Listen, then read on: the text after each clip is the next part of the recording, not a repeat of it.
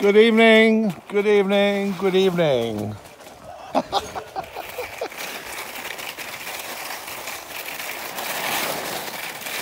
so, here we are, a Mad Murphy movie, made 1833, 24th of the 3rd, 2019. It's a bit of an early night for me, really.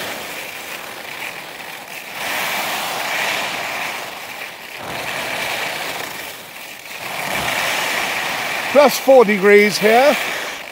It'll get a lot colder tonight, I'm sure. Just look at that panorama.